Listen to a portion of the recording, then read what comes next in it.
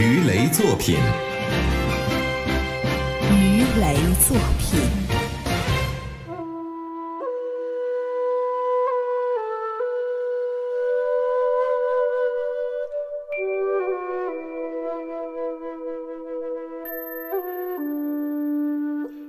我是鱼雷，我们讲程朱理学。朱熹认为，理存在于世上的一切现象当中。我们通过观测世上所有的现象进行思考，最终就能领悟理。说到这儿，你可能感觉这个理，那不就跟物理、化学这一类的自然科学很像吗？什么是自然科学呀？那不就是通过研究身边的现象，发现其中共有的规律吗？但是区别在于，自然科学只告诉我们世界是什么样的，而不会告诉我们世界应该是什么样的。换句话说，自然科学不带有道德元素，比如科学家研究基因，他告诉我们自私是人的本性，但这个研究并不能告诉我们自私是对的还是错的。自然科学仅仅负责陈述自私是人的本性这个事实，但是理学不一样了。朱熹认为，这个理不仅蕴含了世界本来是什么的客观规律，还蕴含了世界应该是什么的道德律令。这一点很像康德，康德是通过形而上学推导出道德律令。可是为什么呢？为什么世界是什么样的客观规律可以推导出我们应该做什么呢？这就要讲到近代的科学思维和我们传统思维的一个巨大区别。所谓的科学是在欧洲启蒙时代诞生的，那个时代欧洲人特别崇拜古希腊的哲学家。其中一个被大家广为崇拜的是欧几里得，因为欧几里得只用了五个最简单的公设，后面只靠逻辑推理就建立了一个无所不包的几何学大厦，能够解决平面几何中的一切问题。这种用几个简单公设靠逻辑建立学术大厦的思维方式，充满了简洁的美感，让欧洲的思想家非常崇拜。所以，欧洲思想家在研究科学的时候，也遵守着类似的思路。说我们要想解释这个世界，我们就去找产生这个世界的源头。找到源头了，后面只靠逻辑推理就能建立整个学术大厦。比如牛顿力学就建立在最基本的几条定理上，世间的所有物理现象靠这几条定理一路推理出来。所以，近代科学的思维是：我们看见一个东西。首先思考产生它的原因，通过这个原因把这件事儿当中的因果关系找出来，找出了因果关系，我们就发现了这个事物的本质。比如说，我们看见鸟儿在春天求偶交配，科学家的思维方式是，我们去思考鸟儿这样做的原因是什么。比如，答案是鸟儿在春天交配，是因为春天食物很多，利于幼崽成活。在远古时代，也曾经有不在春天交配的鸟，但是它们都在大自然的残酷竞争中死掉了。所以今天活下来的鸟都有一段基因，一到自然温度上涨到一定度数，就开始刺激鸟儿发情交配。有了这样一番解释，科学家们就认为已经解释了鸟儿在春天交配这件事儿的因果关系和本质了。我们知道了这个规律，就可以利用这个规律去做我们想做的事情。好了，科学家研究什么呢？大家有没有发现一个有趣的问题？所有的科学家都在研究因果，比如天为什么下雨呀？为什么打雷呀？人为什么会出生啊？为什么会生病啊？为什么会衰老啊？这就是有因有果，看到了果，去找它的因。那这个所谓人人都信仰的科学，是不是跟佛教又殊途同归了呢？佛教就讲一切因果，科学也在找因果，但是中国的传统思维不一样。中国传统思想认为，人世间的一切东西，包括人的行为举止、人的社会活动，都和大自然遵守同一个终极规律。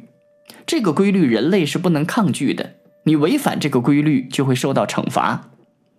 比如，一个中国传统学者观察到鸟儿在春天求偶，他得出的结论就是一个鸟儿应该在春天求偶繁殖。如果他不这样做，他就受到大自然的惩罚，他就没办法正常养育后代。也就是说，在现代科学家看来，我们可以利用自然规律满足自己的欲望。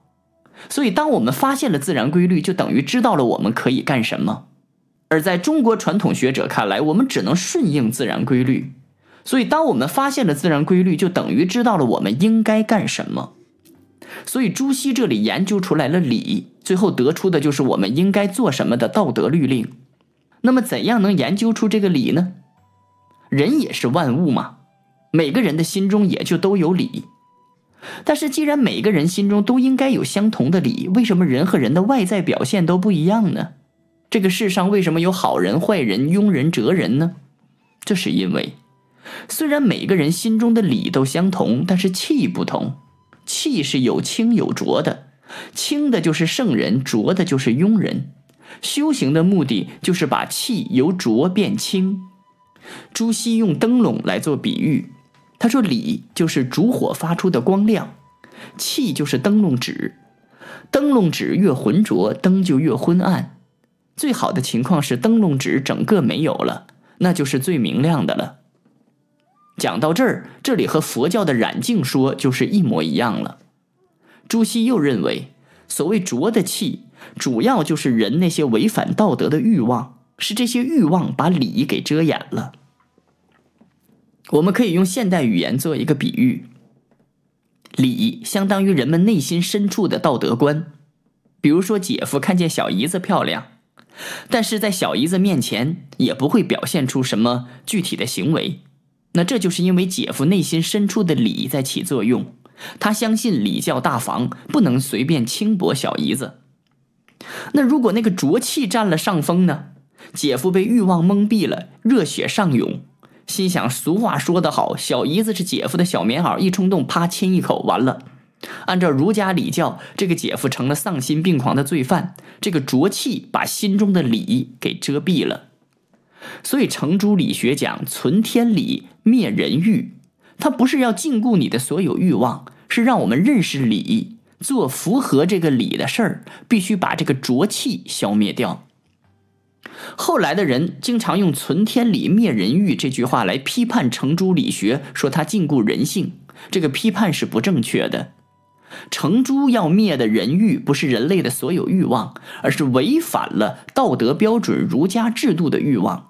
姐夫不能喜欢小姨子，但夫妻亲近不仅允许，而且是应该的。这是因为传宗接代符合了儒家的礼呀。朱熹曾经作诗说：“川原红绿一时新，暮雨朝晴更可人。书册埋头无聊日，不如跑却去寻春呐。”他说：“你看呐，外面的春光多美好啊！别看书了，扔了书出去玩吧。您看，他显然不是一个死板的老学究啊。但是光摒弃了浊气还不够，禁欲是消极的行为。”顶多让人不违反礼教，但是不能指导人主动做什么。比如说孔子那样的儒家圣人，孔子不仅仅是不纵欲，他还有智慧，留下了《论语》等儒家经典来指导别人。这个《论语》中的思想是怎么来的呢？我们能不能也像孔子那样拥有伟大的思想呢？朱熹认为孔子伟大，是因为孔子了解了礼，这个礼是终极的真理。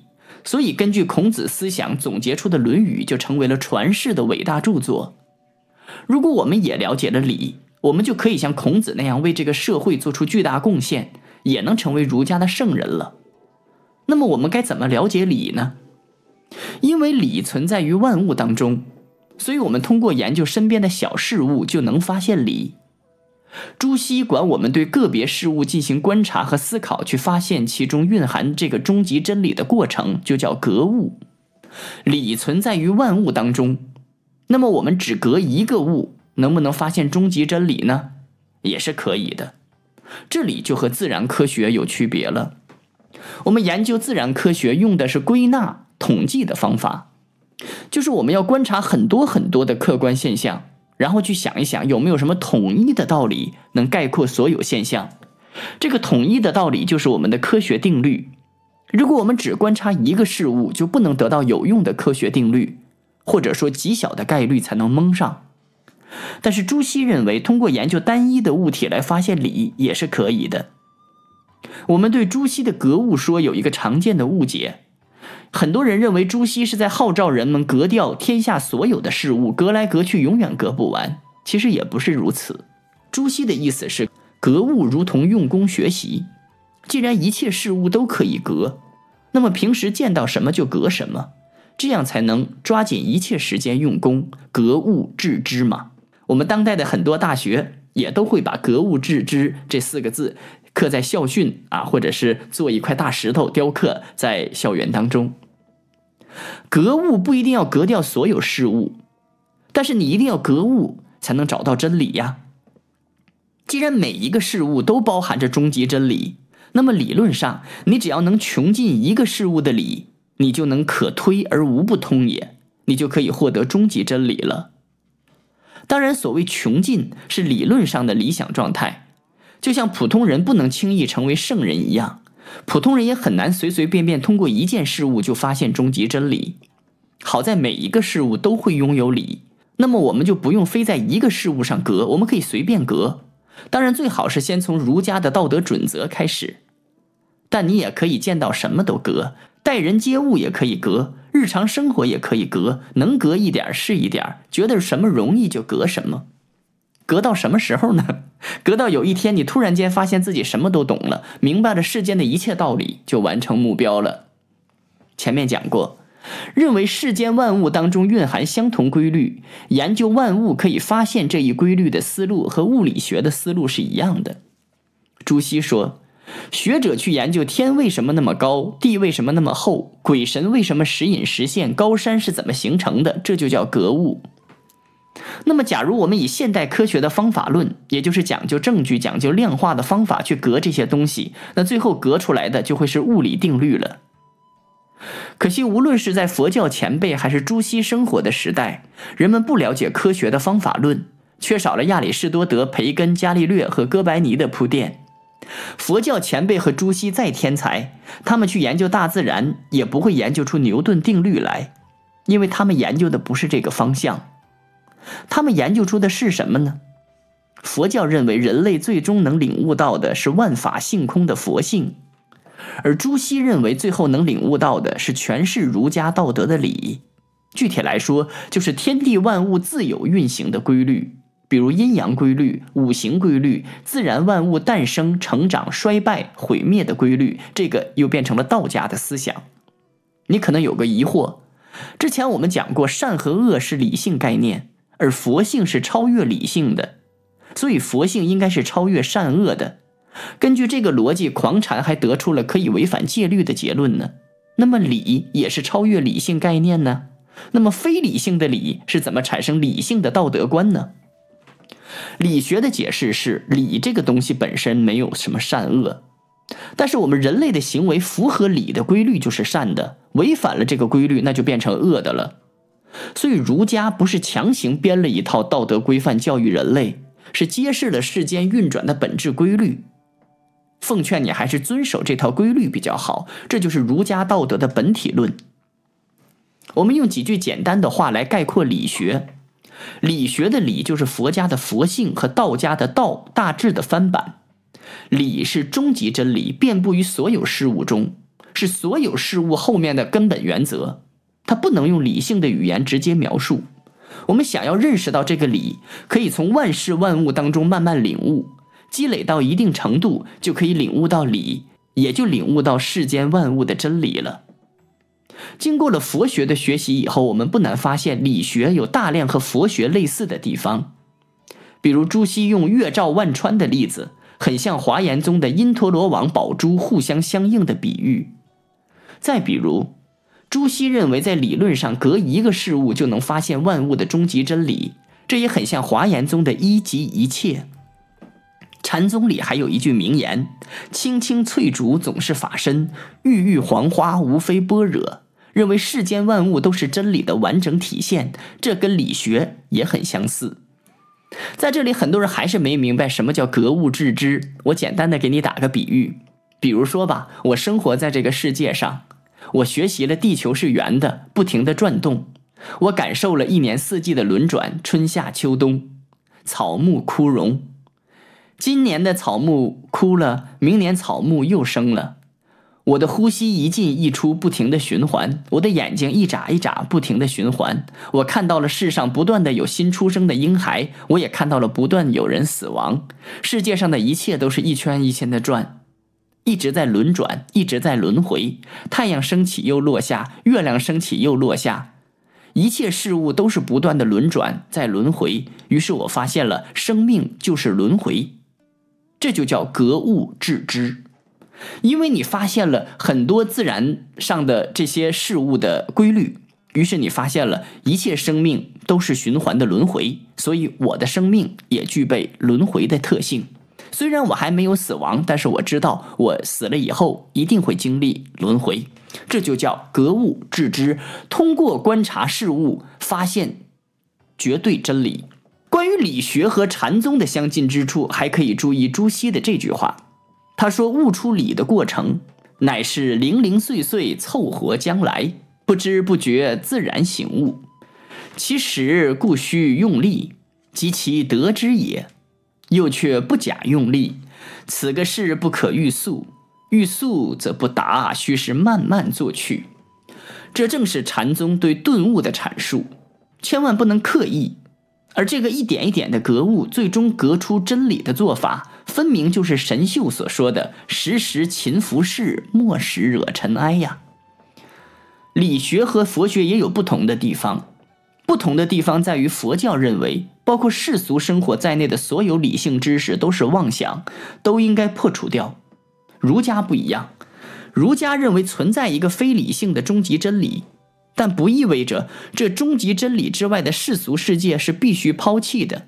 天地万物也是真实存在的，世俗生活也是有意义的。他们不停的运动，就是理这个本质规律的体现。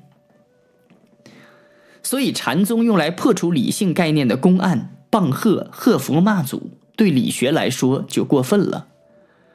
理学不需要这样极端的破除理性，他要留下这个世界和儒家的道德作为最后的底线。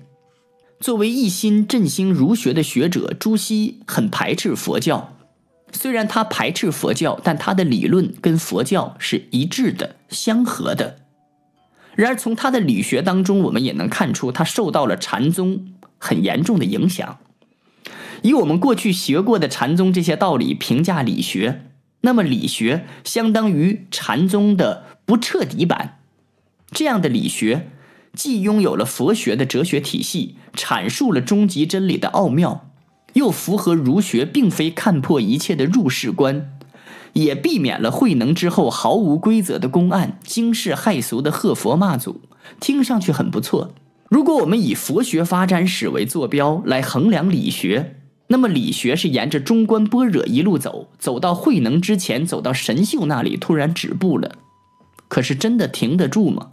这里的关键是慧能所谓的去掉尘埃，没有尘埃，并不是毫无根据的杜撰，它是根据严格的逻辑推理出来的结果。